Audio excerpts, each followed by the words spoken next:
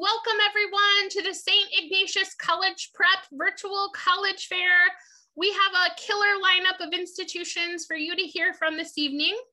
But before I turn it over to them, I have a couple of housekeeping items for you all. First of all, um, this is a webinar, so your camera and your microphone are off. Um, so our panelists cannot see or hear you this evening. Secondly, I think you're going to really enjoy this um, pan this panel and this format for learning about multiple colleges at once. So I hope that you sign up for more sessions because there's two more full hours of um, these panels happening after this one. This session is being recorded and it, so it will be available at strivescan.com slash Ignatius within one week. Finally, we know that you're going to have some questions. So at any point, you can put your question in the Q&A at the bottom of your screen, but also note the college or university that you're directing your question to so our panelists can answer appropriately. This is also um, in a six by five format, which means five colleges only have six minutes to share great information with you. So we hope it's just enough where you're able to um, hear a little bit more, but want to, to learn more as well. So before I um, before we go on, I'm going to turn it over to our first panelist, which is Beloit College. Take it away whenever you're ready. Let me just get my screen up there. Hopefully you can all see that. We can. Um, perfect. Uh, hi, St. Ignatius. Thank you so much for having me today. I'm so happy to be here. My name is Jana Fritz, and I'm an admission counselor at Beloit College, and I'm also an alum. I graduated just last year, um, almost a year ago already, I can't believe it, in May of 2020. Um, so I'm here to talk to you about Beloit, which is a small liberal arts college in Wisconsin. We're just in the south of Wisconsin, though, almost on the border or on the border with Illinois. Um, so we are a fairly small school. We're about 1,200 students, and we have students that come from all over the country and all over the world. Uh, we're very proud with that um, high number of diversity, especially socioeconomically, racially, and culturally. Um, we also have a large um, percentages of our students that really like to study majors in multiple different subjects. So these are most popular majors on screen, which is um, anthropology, biochemistry, creative writing, and more. Um, so our students like to choose a little bit more than just one. Um, we have one out of three students that double major because they're so curious and they want to take classes in all different subjects. Um, and that's very successful on campus with our students because we have around 93% of our um, students that continue into grad school or um, into the workforce uh, within six months of graduation. Um, and they can do so because they have so much amazing support while they're here on campus. Um, and of course, in the future as well, we're always here. Um, but most uh, importantly is our advanced mentoring program. So within 72 hours of depositing and choosing Beloit, um, you get to get a major or an advisor right away. And they're not going to be a major advisor. They're, they're just going to kind of be that friendly face guiding you to campus, choosing your classes with you, all that kind of stuff um, within three days of you getting here or, you know, choosing Beloit. Um, they're also going to be having a class with you. That means every two weeks, um, going through workshops and creating connections with you and with the Beloit community and the college um, to help you kind of form your academic path and once you choose your major and get a little more focused into what you want to do, you can be part of a career channel, um, which is kind of another set of support um, through courses, internships, and anything um, to really help you get more grounded in your field of study. Um, and this map on the screen just shows where we are located um, because we do have some for, uh, Fortune 500 companies in the area of Beloit, um, but also Madison, Milwaukee, and Chicago that are within an hour to an hour and a half from our campus. So you have kind of that smaller city um, focused academic vibe on campus, but as well as the larger experiences from a larger city very close by. Um, we are dedicated to our students, not just in academics, but also on campus by having a campus that is quite literally designed for you. Um, with our powerhouse, that's the main photo you're seeing there. It is a, a old coal-powered energy plant that was in the city, and we bought it and rebuilt it into our student union and recreation center.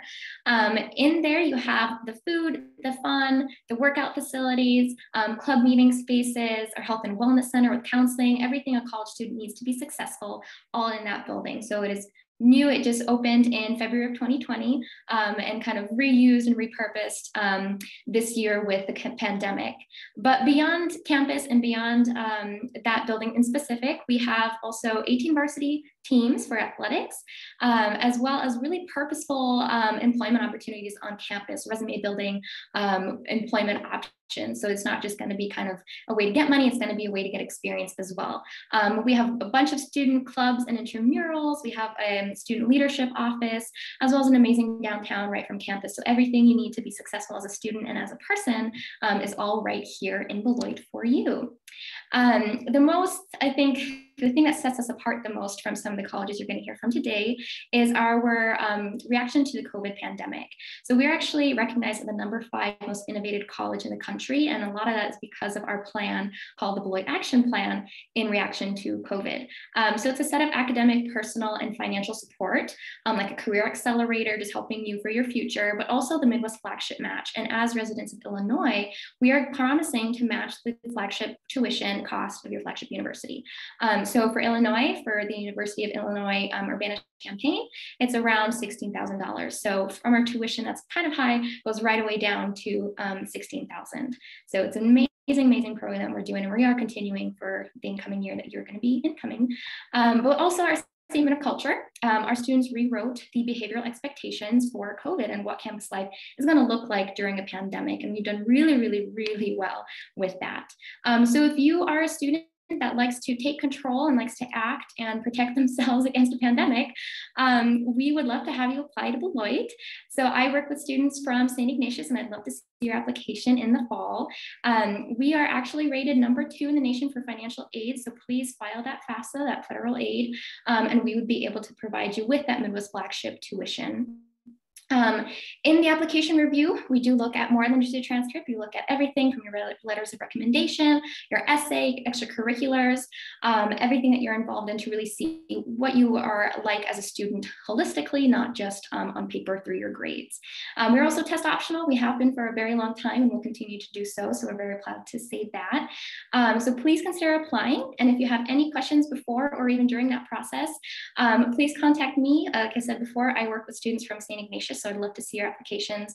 Um, my email's on the screen there and I can pop it in the chat as well after. But thank you so much for listening. Um, enjoy the rest of this presentation and I hope to see your application. Thank you. Yana, thanks so much to you and Beloit College. Audience, don't forget, you can put those questions in the Q&A at any time point. Uh, any point in time, sorry. Um, next up, I have the pleasure of introducing to you Sewanee, the University of the South. Reese, take it away whenever you're ready. Alrighty. Can you see me on screen? Yes. it is very good to be here. Um, thank you all for sitting down and, and, listening, and of course for the recording later on. So, uh, my name is Reese Jameson. I am an admission counselor here at the University of the South Sewanee. Um, I should probably share the video presentation that we have for you all tonight um, to talk a little bit about Sewanee. So um, we are a small liberal arts institution in Southeast Tennessee, located about an hour and a half from Nashville, 45 minutes from Chattanooga, and two and a half hours from Birmingham and Atlanta, respectively. Um, and so I'm going to have my colleague Taylor in video form uh, explain a little bit more about who Sewanee is. Um, and I will leave my contact info in the chat uh, if you all have any, any more questions. I'm happy to help.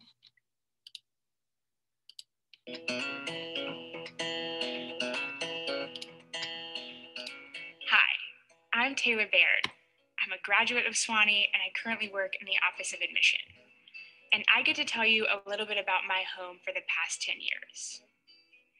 You might be thinking, hmm, Sewanee, the University of the South. What does that entail? The University of the South is so much more than a campus that we had to create new words for it. It's the mountain. It's our home on the Cumberland Plateau. It's the domain, situated between Nashville and Chattanooga. It's a working farm, a 13,000 acre forest, a natural playground with trails to hike and rocks to climb. But above all, it's a community. That's Sewanee and it's a place that I hope you'll consider calling home one day too. The domain is where we live, eat, research, recreate, reflect, and compete. I mean, 30% of our students are scholar athletes competing on one of our Division III varsity athletic teams. It's a lot, and we like it that way. Our university motto, Ecce Quam Bonum, or EQB, ensures that we push each other and appreciate each other while dwelling together in unity. You'll be sharing Sewanee with about 1,700 other 17 to 22 year olds and the broader community, so there's rarely a dull moment here. While we're nestled in Tennessee, you're still going to be encouraged and expected to engage with the global community. We want you to address global issues and engage in a way that connects Sewanee with the rest of the world. This is a place where everybody stands up for what they think and for what they believe in. That dialogue across difference and that true discourse is the environment that we strive to cultivate.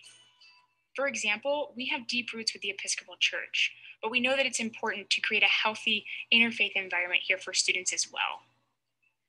With the combination of intellectual rigor and community, Sewanee will help you figure out who you are. As an institution, we've been exploring who we've been and who we are. We want to model that for students that you're exploring those questions and that asking questions and seeking solutions is commonplace. You can do that at Sewanee because your professors are teachers and mentors first and researchers second. We believe in educating the whole person through the liberal arts education.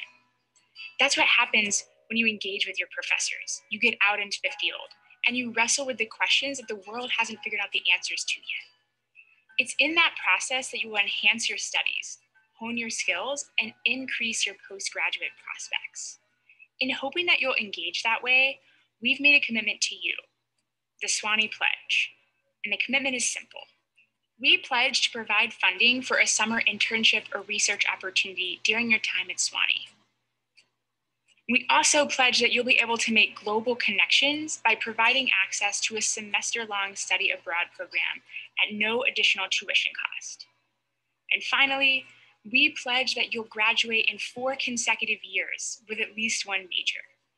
If you do not, you can study for an additional year at Sewanee and no additional tuition cost. At Sewanee, if you give your best in good faith, we will honor that dedication and effort.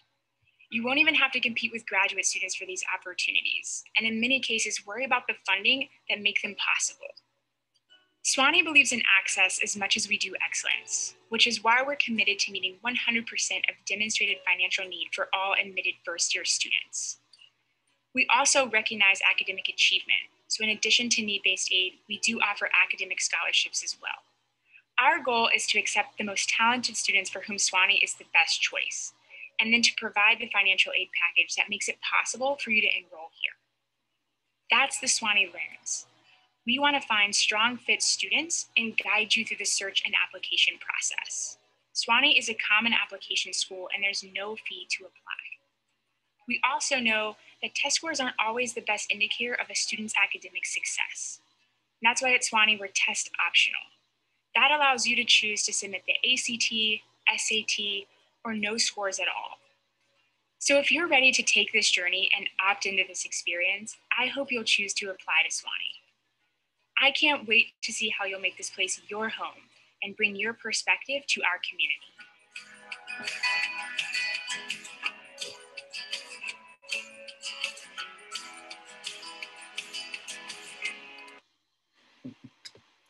So thank you for that, Ms. Taylor Baird.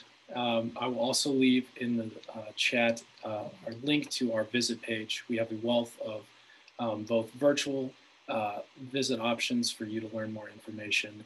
Um, and then we also are open to uh, campus tours um, safely with masks and uh, at a distance for our juniors and seniors as well. So um, should you be uh, in Tennessee's neck of the woods, feel free to sign up for a visit. Reese, thank you so much to you and Sewanee. Next up, I have the pleasure of introducing to you Lawrence University. Keegan, take it away whenever you're ready. Thanks, Courtney.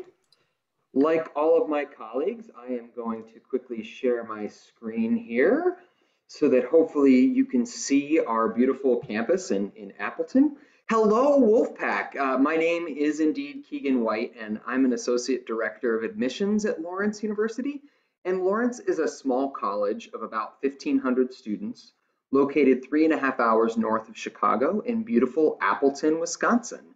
Appleton's the fifth largest city in the state of Wisconsin, and you'll find an airport, a bus station that will get you to Chicago in about four hours.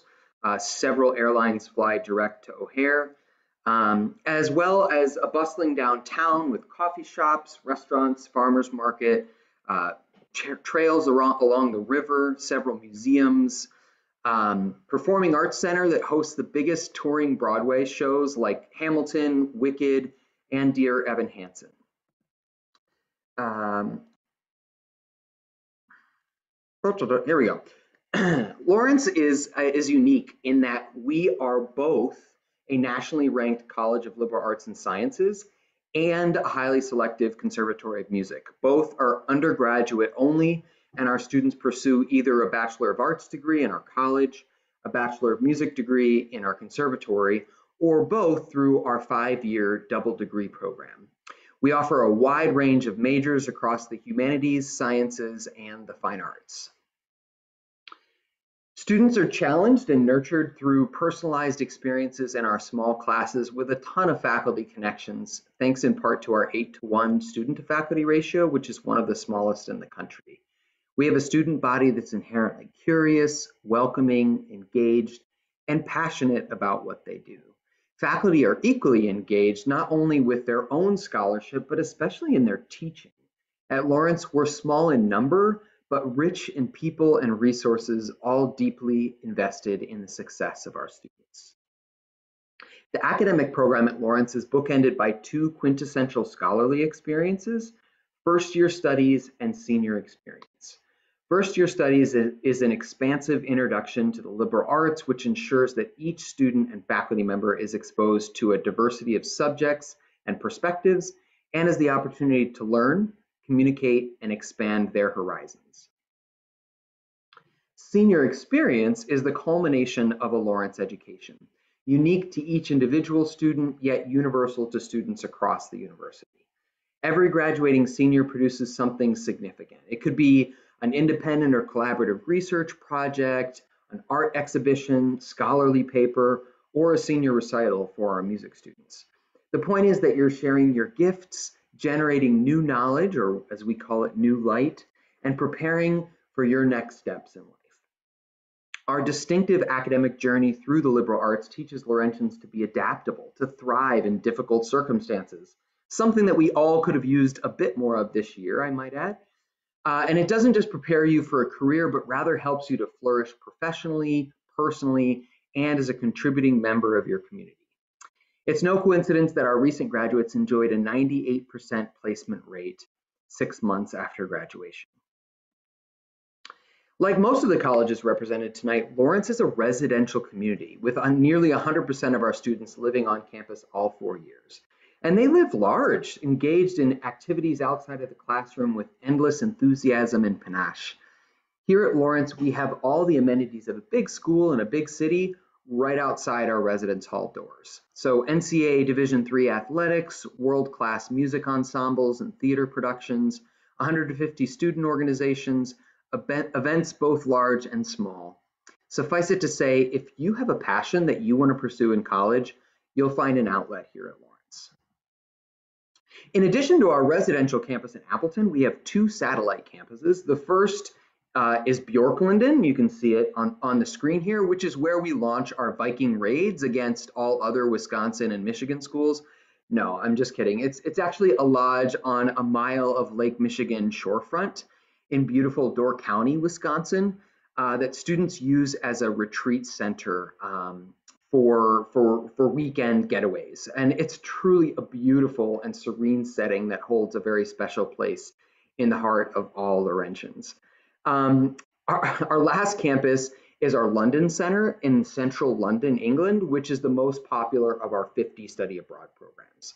So if you're looking for a global experience, you'll find Lawrence's student body and faculty to be diverse, with nearly every race and state represented, 25% of whom are first generation college students and 15% hailing from 50 foreign countries on every continent.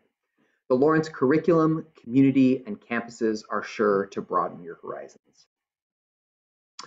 Here's a quick look at the average profile of our incoming Laurentians. Lawrence has a holistic review process and we do not require standardized test scores for admission review or scholarship consideration. Like our friends at Beloit, we've been uh, doing a test optional model for, for many years. Uh, for some Lawrence applicants, an optional interview is a great way to help me discover your true fit and ability to succeed here at Lawrence. Just remember that the first key is to show your academic preparedness or potential.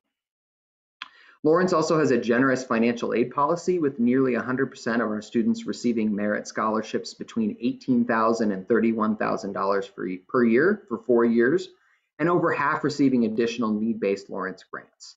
We meet the financial need of, of over 90% of admitted students and are working our way towards 100% in the next few years. Uh, and don't forget about me. I'm your trusty admissions counselor, and I really put you at the center of what I do. Courtney can attest before she cuts me off that um, I really make it make it my my life's work to to serve the students that I work with. So I really look forward to to working with you. Uh, and and with that, I will hand it back to to Courtney. Thanks, Courtney. Keegan, thanks so much to you and Lawrence University. Aren't you guys having fun? I told you this was a really great format to learn about so many great schools in a short time frame. Next up, I have the opportunity to introduce to you Kenyon College. Jack, take it away whenever you're ready. Fantastic. Thank you, Courtney. Thank you to all my colleagues uh, presenting tonight as well and to all our students joining us. It is a privilege to be here with you um, this evening. Uh, my name is Jack Iyer. I'm an Associate Director of Admissions with uh, Kenyon College, uh, and I represent uh, students from the state of Illinois. So certainly that is you all. So I'm thrilled to have the chance to speak with you um, this evening a little bit about uh, Kenyon College. Um, we're a small private liberal arts college. We're located in Gambier, Ohio, uh, which is in very, very much central Ohio, just north of Columbus, the state capital. Uh, 1,700 students in total with our entire student body that come from all 50 states, as well as over 40 uh, different countries. And actually, the Chicagoland area is very much our third most um, uh, represented city in terms of uh, in our student body. So just a little bit of, of ideas um, about, about that. So we were founded in 1824. We're one of the nation's finest liberal arts college. Uh, we're actually um, the oldest college, uh, private college in the state of Ohio. Uh, and so a little bit of fun fact, um, fun fact there. Um, we are located on hilltop campus. Um, uh, similar to a few other uh, institutions represented tonight, uh, we are 100% residential. So you will live on campus for all four years. Um, on top of that, you'll notice that one of the biggest things with the layout of the college is that it's actually all the buildings at Kenyon kind of connect to what's called Middle Path, which is very much a mile long path that connects all the different buildings, whether it's the residence halls or academic buildings. Uh, it all connects uh, to Middle Path. So it's very kind of easy to, to navigate uh, in a way. Again, like I said uh, earlier, just under 1,700 students uh, are in our student body. This gives you kind of a representation of where we are in Gambier, in Ohio, um, as well as kind of the driving distance of where um, uh, a lot of students are coming from uh, in our student body with a lot of major metropolitan areas um, across the entirety of uh, the United States. From here, you'll see a list of all of our different areas of study. I won't necessarily go into too much detail here, um, but you'll notice that uh, all these different areas of study are options for you to explore. And a lot of times it's very, very common uh, at Kenyon for students to come in and explore a lot of different areas of academic interest. So you'll actually have, on top of courses for your major, you'll be required to take two courses in fine arts, two humanities, two social science, a quantitative reasoning course, um, as well as a two semester foreign language requirement. You'll take all these courses um, uh, in combination with the courses that you select for one of your majors. And so uh, these are all different opportunities for you uh, or areas, disciplines for you to select for um, your major about 15 students uh, per class, uh, and that's very much um, typical across all disciplines at Kenyon, so regardless of if you're studying physics or economics or French or what have you. Um, introductory classes might be a little bit larger. A large class at Kenyon is very much like 35 to 40. As you get into your upper level classes, those classes will actually get much, much smaller, where you could very typically find a class that's six or seven students. And so if you know that you you thrive in that type of atmosphere where you can see yourself connecting closely with your peers and professors, you will very much find that in the classroom at Kenyon, really regardless of, of the types of courses that you're taking. A lot of times students at Kenyon pursue opportunities um, with various on-campus jobs or various on-campus um, kind of uh, roles that function similarly to internships. Uh, one of the most popular ways in which um, students do that is for our students interested in English or literature or um, creative writing. Kenyon has a significant amount of, of uh, traditions and prestige in, in those areas. And so a lot of students uh, get connected with our Kenyon Review, which is actually an, inter an internationally acclaimed literary magazine uh, where the students who work with the Kenyon Review uh, serve as first readers for a number of different submissions that are um, that kind of uh, flow through the review. So for those of you interested in, in English or literature or um, uh, literary magazines, the Kenyon Review would be a, a really neat opportunity as well as the Gund Gallery for uh, any of you that might be interested uh, in studio art or art uh, history, curatorial work, museum work, those things of the sort. Uh, the Gund Gallery is a, is a neat opportunity for students to take advantage of as well. And then a lot of times students are very interested in pursuing some sort of um, uh, some sort of research uh, during their time at Kenyon. And so oftentimes this takes place through the natural sciences, but it can take place through the social sciences, humanities, all the disciplines uh, at Kenyon. And so you actually have the opportunity to do research on campus with a professor, as well as a group of peers of yours, uh, and actually live on campus during the course of, of your summer, uh, and really engage uh, heavily with your research group, and actually oftentimes with the goal of presenting your work at a conference or at a we're working to get published, something of that sort. So there's plenty of opportunities in the research world um, as well. One really neat feature about where we are in Ohio is that uh, we have actually a significant amount of relationships with various farmers in central Ohio. So a lot of uh, food, uh, just under 50%, is actually locally sourced because Kenyon will purchase a lot of the dairy, meat, produce, et cetera, from all of our local farmers. And so uh, that is one really neat thing that you'll find about the food um, at, uh, at Kenyon. A little bit more with our uh, performing arts scene here, some pictures. Um, other things to note, um, just under 90% of students graduate uh, in, in four years. And so uh, we very much work towards, uh, you know, students graduating um, over the course of, of, four years, a very high rate there. Um, another really important thing to note is that when you, for those of you that might be interested in thinking about um, graduate school, uh, so things like, uh, you know, whether it's a um, professional program or master's degree or um, any sort of, of um, doctorate uh, program, those, uh, if, if as long as you work alongside all of our advisors in our career development office, uh, you will have the opportunity uh, to, to work with them and receive their advising, and actually you'll be placed at a very high rate uh, in, in that regard. So with that, um, kind of last, um, lastly, I'm, I'm happy to answer any questions you might have about Kenyon, uh, and thank you so much uh, for your time. I will hand it back over to, uh, to Courtney. So thank you all again. Thanks so much, Jack, to you and Kenyon College. Our final presentation tonight will be from the University of Tampa. Veronica, take it away whenever you're ready. All right. Hi, everyone. Hi, St. Ignatius. Thanks for having me. Let me just swap this view real quick. My name is Veronica. I am one of the admission counselors here working um, with students from Illinois. I'm also an alumni of UT and I'm from the Chicagoland area as well. So from Vernon Hills, I attended UT and graduated this past May of 2020. So I'll shed light on my experience and paint a picture as quickly as I can in six minutes for you and what UT is all about. So we're located in West Central Florida. Um, neighboring Orlando, Miami, the Tampa Bay area, surrounding cities of St. Pete and Clearwater. We're about a five minute walk into the downtown, which lends itself for entertainment and, and, event opportunities and internship and career opportunities as well. So this picture gives you a good feel of where we are in relation to that. We of course get to take advantage of beautiful sunny weather year round for the most part. Um, and we have beautiful beaches for students to access. That's something that I definitely took advantage of during my time here at UT.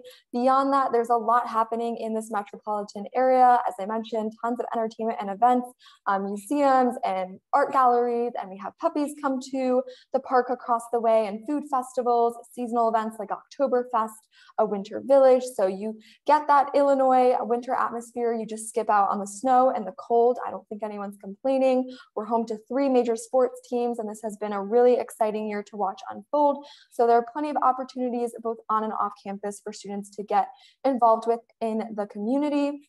We're a private institution, so it's the same cost for in-state and out-of-state tuition.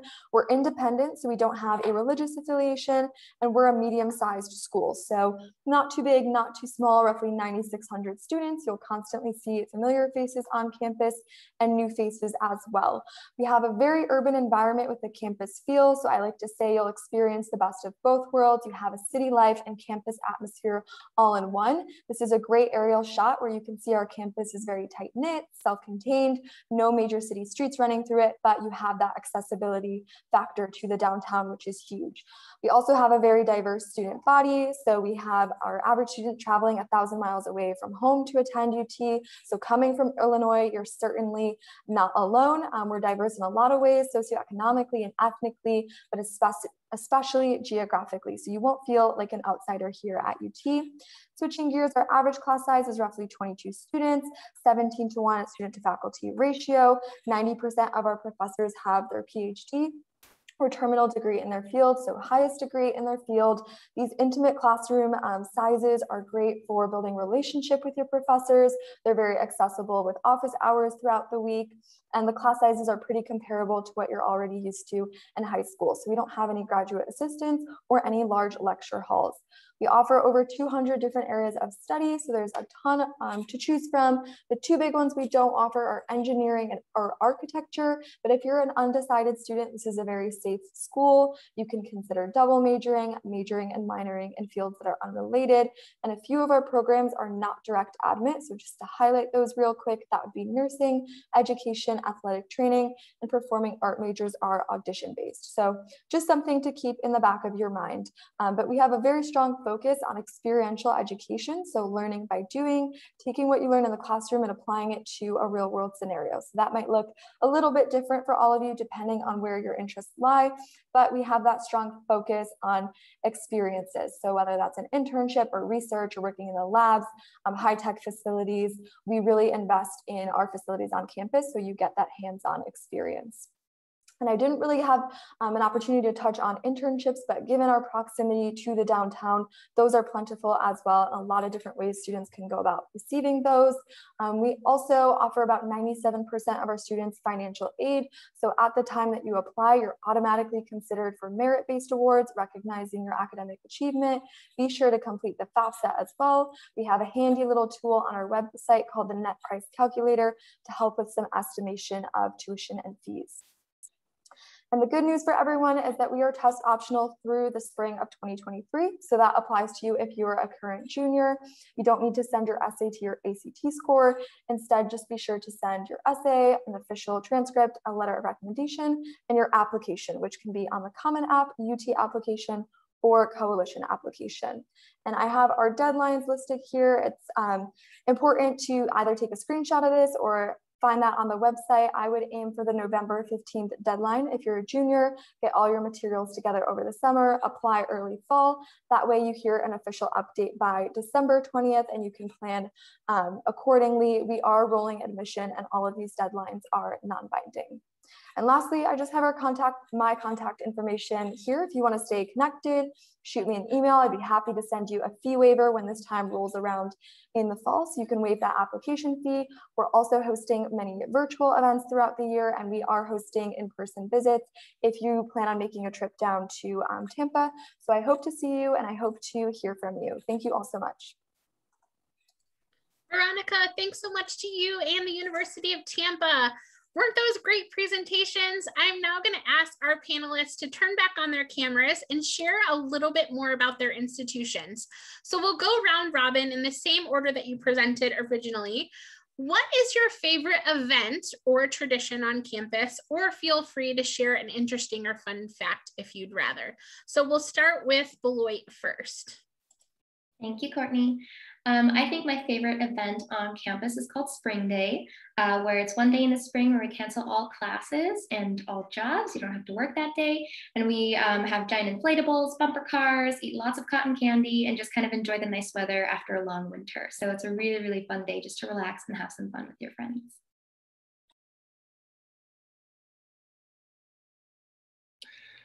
That sounds like a lot of fun. I would like to go for sure. So my one of my favorite things on campus is our scholarship Sewanee weekend. Um, which happens every year. Um, and it's where students have the opportunity to present the research that they've been doing on campus. Um, and so we have over 100 different presentations, um, students standing by to talk to friends, faculty members, and present what they've been doing. So my favorite by far was a study done about whether or not if there's a fight in the hockey game, it turns the outcome towards a win for the, the winning team of the fight. So um, a lot of good research going on, obviously, outside of that. So a lot of fun. Ooh, I like that one too.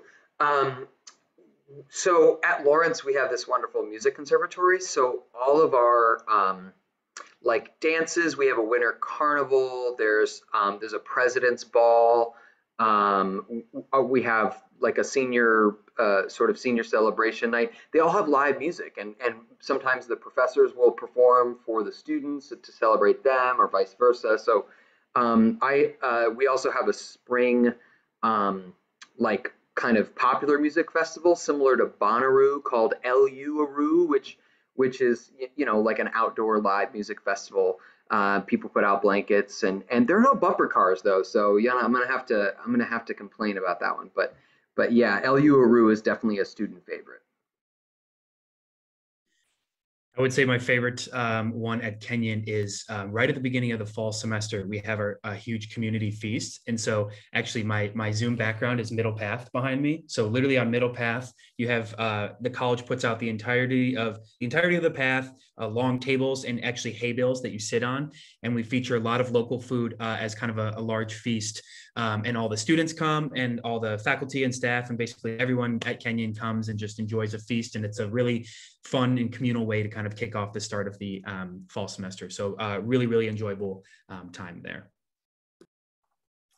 I would have to kind of piggyback off of Lawrence and say that we do something similar. It's called Party in the Park. We bring in pretty well-known artists to campus every spring. Um, previously, we've had X Ambassadors, Jesse McCartney, T-Pain, Jason Derulo, so some well-known artists, and then it's free for all students in the park overlooking downtown and campus. So it's a really fun event. I always love hearing these great traditions, and I'm sure the students are excited about making one of your traditions their new tradition when they attend. Um, now I'm going to call on your expertise because you guys do this for a living and you work with students all year round um, that are going through the college search process. And we have lots of juniors online. So, what advice would you give someone going through the college search process? We'll go in that same order that you presented again. So, Beloit up first this is a common one, but I would say to visit campuses. It's really hard, especially in this virtual world. I mean, we're kind of forced into it, um, but campuses are really different on a screen compared to in person. So I think if colleges are open for visits, as I think a lot of us are on, on this panel, um, it's really important to get out, meet with some current students, meet with students that aren't employed by the admissions office and hear what they have to say and hear about their experiences. I would definitely say after watching myself, uh, my younger sister, and now my brother, who will be a first year student uh, this coming year, um, is to start a little bit early in the summer when things are kind of relaxed, calm down, take a deep breath, and sort of take it bit by bit. So do a little bit on a Saturday, maybe an hour's worth of research for different schools, and, and sort of plan it out a little bit.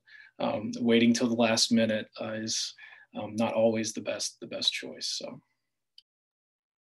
Well, Yana and Reese have stolen my two. I, I, I had a backup, but no. Um, I will I will provide you with with one piece of advice and one brief story. And the advice is to make a spreadsheet, um, so that you can keep track of all that visiting and research that you're that you're doing.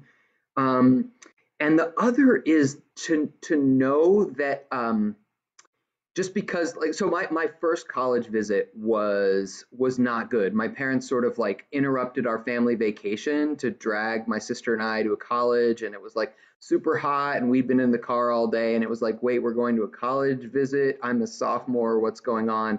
And i kind of hated it.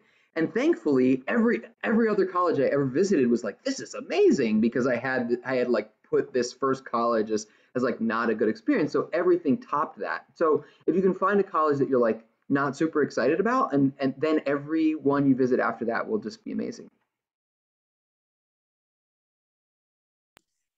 I would say, um, in terms of a piece of, of college advice, I would really, um, as you're kind of continuing or thinking right now uh, about starting off the college search process, I would really urge you to think about really um, giving yourself the space to kind of reflect on what all you want to ultimately accomplish during your college experience and really what all you want to get out of your college experience. Because if you can reflect on that and really think about your wants and your needs uh, with, with your upcoming choice, your upcoming college, you can let that kind of dictate what schools you're considering as opposed to vice versa and saying i'm looking at you know schools a b c d and i need to think uh, i need to understand if they have all these other things that i'm looking for right? If you can think on the front end all the things that are important to you that you need and want in a college and then let that kind of uh, guide your search process i think that will really pay dividends in a lot of ways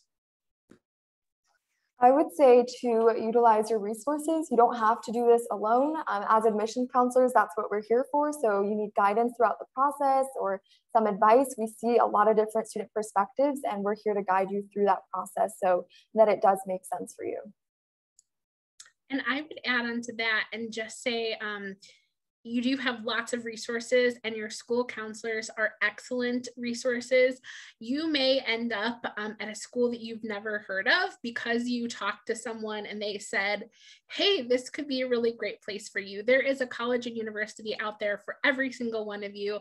And I think I can speak for everyone on the panel and say, like, this should be fun too. So have a little fun. Thanks so much for joining us tonight. As you close out, there'll be a quick four question survey. So you hope we hope that you'll um, provide us with, with some feedback. We also hope that you had fun in this format and that you'll sign up for more sessions. There's still two more hours worth of this tonight. Um, also, if you have questions, feel free to join that virtual meeting with your counselors and ask questions in the counselor corner. You should have gotten an email about that when with the link to sign up or to join this meeting. And the recording of this um, event will be available within one week at strivescan.com slash, slash Ignatius. Um, best wishes with your college search, everyone, and we'll see you later. Bye-bye.